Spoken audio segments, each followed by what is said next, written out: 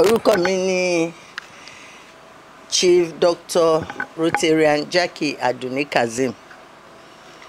I'm of the misa group nigerian international limited. Well nípa àwọn ọ̀dọ́ pé kò síṣẹ́ kò sí iṣẹ́ iṣẹ́ wà. Ṣùgbọ́n ẹni tó bá graduate tó ní masters iṣẹ́ wo ló ní iṣẹ́ pé oríṣiríṣi. Mo mọ àwọn graduates kan tó yẹ pé they work with me in the factory and from there it was a stepping stone for them.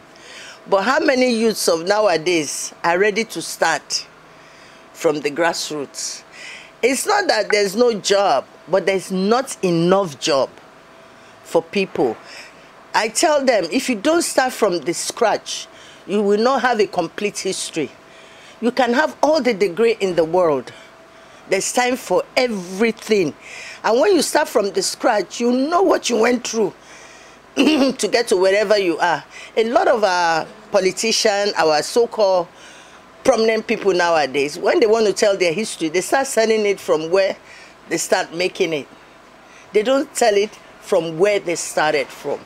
And uh, i'm hoping and i'm praying that sooner or later nigeria is going to change. We have to create that job ourselves. The youth have to look inward and say look how am i going to start? How can i start with it's not when you have billions or you have millions you can set up. Nowadays i have a guy who is into this uh, networking and he's doing very well now. What he does he brings people around and teach them. You can make money yourself. You don't have to rely on the government which a lot of us do. All of us want a white collar job. There is no white collar job anymore in nigeria. Don't let's deceive ourselves. Unless you're a minister's sister or you're a minister brother or your mother is giving you a note to go and meet so so so and so so so person.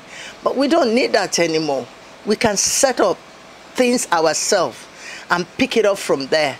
And once you know you have started rising up you encourage others you bring them in gather yourself together form a company yourself and sell yourself to the people out there because the world need Africans. Our boys are very intelligent, they're very smart, and we're, we're being needed everywhere now.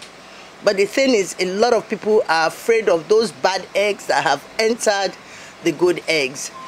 But I say, Nigeria, we're hoping and we're praying that sooner or later, we cannot go on like this. Nigeria is going to change.